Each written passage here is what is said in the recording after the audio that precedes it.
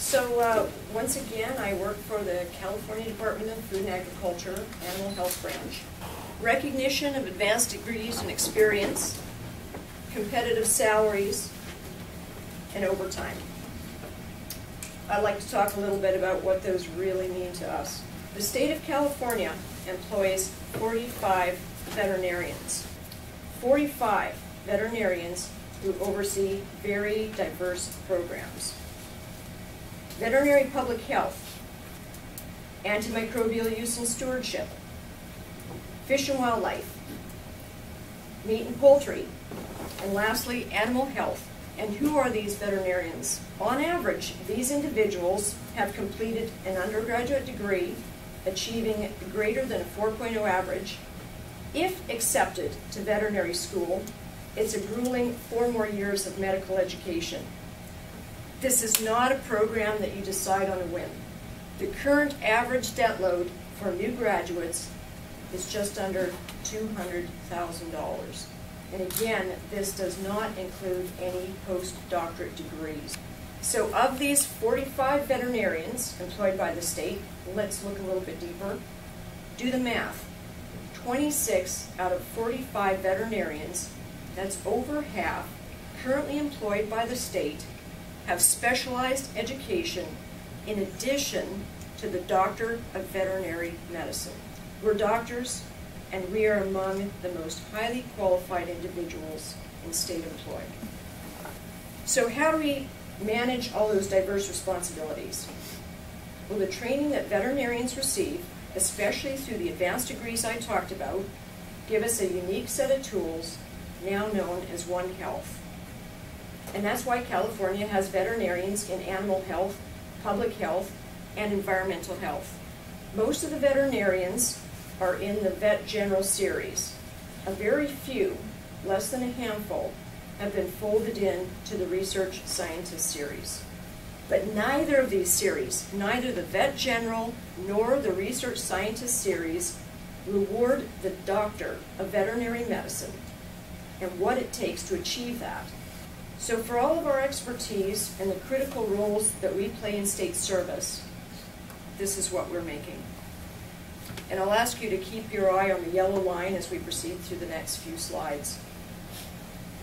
Now this is the Vet General series, and I want to emphasize that what you're seeing there is the maximums for each range.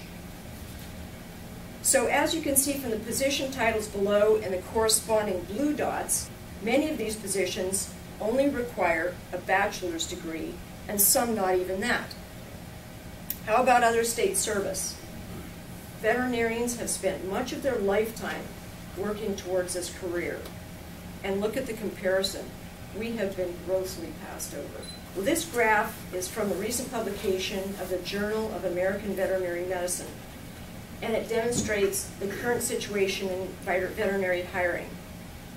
Each dot represents a job posting. The red dots indicate that no one applied for the job. Compared with other parts of the country, I would say that this indicates somewhat of a shortage in California. So how does that play out for us? We're going to be replacing a third of our veterinarians over the next five years due to retirement. This was the aftermath of a foot and mouth disease outbreak in Britain in 2001. You can see how devastating it was. Mitigation of such an incident falls under the purview of the Animal Health Branch. That's the branch I work for. And this is not a far-fetched scenario. Most experts agree that an FMD outbreak in the U.S. is not a matter of if, but when. This is especially relevant to us in California because we are the largest dairy producing state in the U.S. So have we had large outbreaks here in California? These are all multi-million dollar businesses based in California and part of a much larger poultry industry valued at 2.5 billion. We contained two outbreaks in California. How about our fish and wildlife counterparts? When an oil spill occurs and that endangers the aquatic wildlife and waterfowl, they're on the front lines. Again, working side by side with people making overtime. And like animal health veterinarians, they don't receive overtime. This needs to be fixed. This goes so far beyond the exempt classification. These are the faces of state government. These highly qualified, highly experienced individuals comprise a team of dedicated professionals taking care of California's health, the people, the animals, and the environment. But morale is rock bottom and has been for a long time. We've been fighting this fight almost 20 years. You saw the salary comparison. We need to attract and retain well-qualified veterinarians, veterinarians with advanced degrees, veterinarians with real-world experience. We are a small group with big responsibilities.